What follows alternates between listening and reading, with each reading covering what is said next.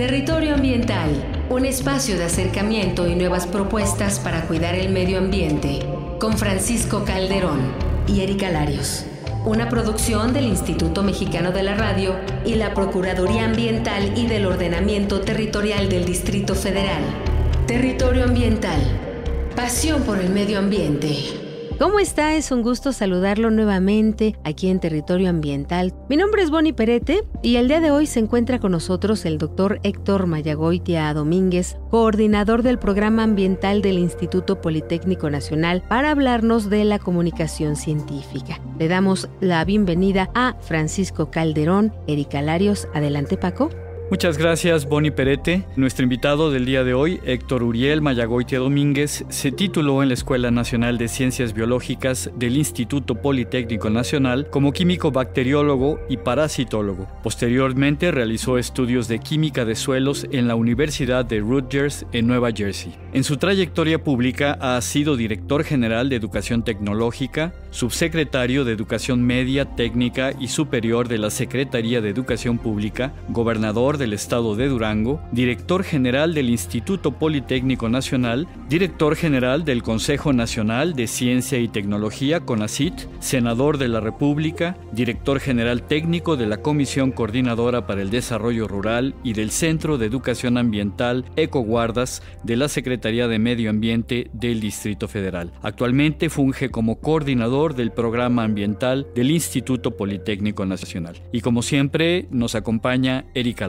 ¿Qué tal, Erika? ¿Qué tal, Paco? ¿Cómo estás? En el año 2003, el doctor Héctor Mayagoitia recibió el reconocimiento a la conservación de la naturaleza por la Secretaría de Medio Ambiente y Recursos Naturales Semarnat. Actualmente es socio honorario de la Sociedad Mexicana de Geografía y Estadística, de la Sociedad Mexicana de Ciencias del Suelo y de la Sociedad Mexicana de Historia Natural, presidente de la Fundación Cultural Metro y del Instituto Mexicano de Recursos Naturales Renovables. Paco. Bueno, pues es un gusto estar con el doctor Héctor Mayagoitia. Eh, cuéntanos un poco sobre el programa ambiental del Instituto Politécnico Nacional.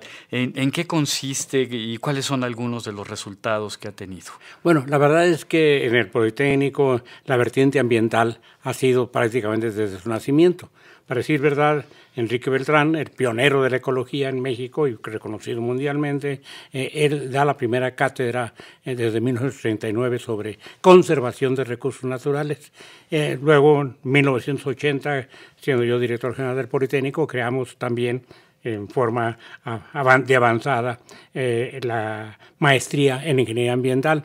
Entonces, siempre ha habido este aspecto en el instituto pero es hasta el 2006 cuando se crea propiamente ya un programa formal, el, programa ambiental, eh, pues que me tocó coordinar y, desde luego impulsar, eh, con el afán específicamente pues de, crear o de cimentar, de consolidar una conciencia ecológica en toda la comunidad y eh, específicamente con eh, en varias facetas.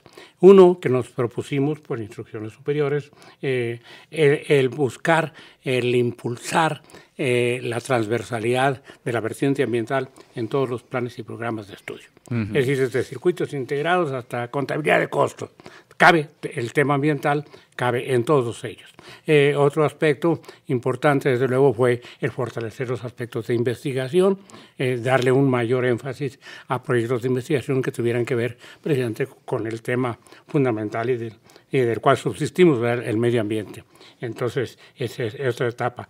Eh, otro aspecto es el de la gestoría ambiental, o sea, propiciar precisamente usar, bien usar los recursos disponibles por por el instituto a nuestro interior, naturalmente, cuidar de la energía eléctrica, cuidar de, del agua, su ahorro, su eficiencia, eh, la, separación de residuos sólidos, eh, eh, todos los temas que tienen que ver con eso, incluyendo el, buen uso de los materiales y de los insumos, o sea, me refiero a gasolina o me refiero a papel, ¿verdad? O cartón, en fin. Hábitos de consumo. Exactamente. Y buscar de conducirlos ya no solamente hacia bordo poniente, sino conducirlos hacia su reciclaje. Y interiormente los orgánicos, pusimos una planta de composta, producimos actualmente mil toneladas anuales. Mil anuales. De, nuestro propio nada más, de nuestra propia producción, en todas las escuelas, naturalmente, se concentra, como las escuelas están dispersas en, todo el Distrito Federal, se concentran ahí y se los devolvemos ya hechos composta.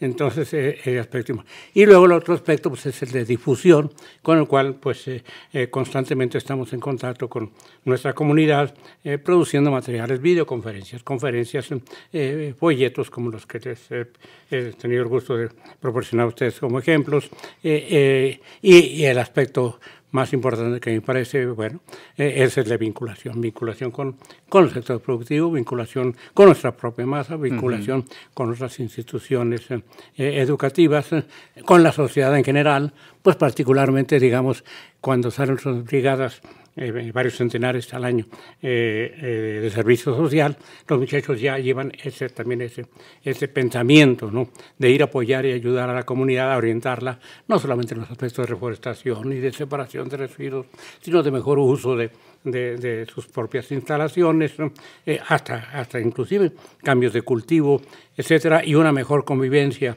eh, en el medio y sobre todo cuidando que el problema fundamental que, que creo que es el de México, cuidando el agua. Entonces, aspectos de esta naturaleza eh, lo hacemos en diversas etapas, incluyendo naturalmente la coordinación con el sector productivo, oficial y privado, en lo que respecta al, al mejor manejo de sus recursos, eh, al, menor desperdicio y al mejor uso de los recursos naturales. Doctor, vemos que este programa, bueno, va dirigido a la comunidad politécnica en particular, ¿no? Y a todas las escuelas que la conforman. Sin embargo, ¿cómo participa, de qué otra manera participa el Politécnico Nacional en, con el sector industrial, por ejemplo, del país en materia de desarrollo sustentable? Bueno, eh, eh, todas las escuelas, realmente en mayor o menor medida, eh, tienen proyectos eh, desde, desde tesis, es la verdad. En las 26 escuelas de licenciatura tienen tesis, algunas, que se relacionan con, con la temática. en los 20 centros de investigación que tenemos en los 17 estados de la República, naturalmente ahí sí hay una mejor coordinación en aspectos de servicio a la comunidad, pero más particularmente en los cuatro eh, centros eh, que tenemos interdisciplinarios de investigaciones para el desarrollo regional. Entonces, ellos fundamentalmente eh, son los que tienen más asiduamente acciones de intercambio con las autoridades municipales, fundamentalmente donde están ubicados, a veces con las autoridades estatales, cuando hay eh, programas de tipo eh, general, eh, o, bien en aspectos muy concretos de tipo de, producción o de mejoría de la producción, bueno, de, este, dándoles un, servicio. Pero la verdad es que tenemos en particular en Zacatenco un corredor que le llamamos, bueno, así, así se le denomina, así se fue bautizado como corredor ambiental. Este corredor ambiental está constituido fundamentalmente eh, por eh, un núcleo de escuelas que eh, no fue casual. fue realmente el doctor Villa, el anterior director general, quien las nuevas construcciones las fue ubicando. Entonces está constituido por el Centro Mexicano de Producción Más Limpia, por el Centro de, Investigaciones y Estudios para el Medio Ambiente y Desarrollo, por la Escuela de Ciencias Biológicas que tiene la carrera de Ingeniero en Sistemas Ambientales y, la Unidad eh, eh, eh, Profesional de Biotecnología que tiene la carrera de Ingeniero Ambiental. Entonces, ellos son los que están más relacionados con los aspectos industriales, pero muy especialmente, por supuesto, el Centro Mexicano para Producción Más Limpia, que es una derivación, es un acuerdo internacional eh, con el Programa Nacional de, para de, las Naciones Unidas para el Desarrollo. Entonces, eh, este centro se dedica específicamente a ese tema, no, no tiene otra actividad. Claro, tiene proyectos de investigación, pero proyectos de investigación relacionados precisamente con el servicio fundamentalmente al desarrollo industrial en general, pero particularmente eh, se dedica a dar eh, servicio, bueno, más que nada a la pequeña y mediana industria, aunque tiene un gran cliente eh, y que le da mucho dinero, muchos millones de pesos, que es Pemex en, aspecto. Y entonces ellos se dedican a buscar de que se aproveche mejor el agua, que se aproveche mejor eh, las instalaciones, que se aproveche mejor la electricidad, que haya menos desperdicios, que haya menos emisiones, eh, eh, y en eso los contratan, se paga el servicio, los contratan eh, especialmente, insisto, pequeña y mediana industria, los contratas para que les vayan y les aconsejen y los orienten y les impongan acciones específicas que al final de cuentas les reditúa 10 o 100 veces más